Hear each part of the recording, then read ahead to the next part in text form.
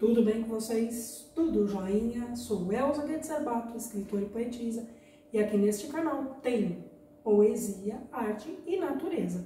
E por falar em poesia, você sabe o que é uma aldrave? Não sabe? É só retroceder o vídeo que você vai descobrir o que é.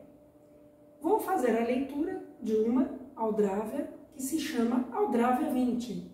Céu azulado, borboleta amarela, voeja contente. Entendeu? Curtiu? Então deixe o seu like, comente, compartilhe e não esqueça de inscrever-se no canal se você ainda não é inscrito, tá bom? E para receber as atualizações de vídeos novos é só clicar no sininho no cantinho direito da tela. A todos uma excelente semana, um grande abraço com muito carinho e muitas energias positivas.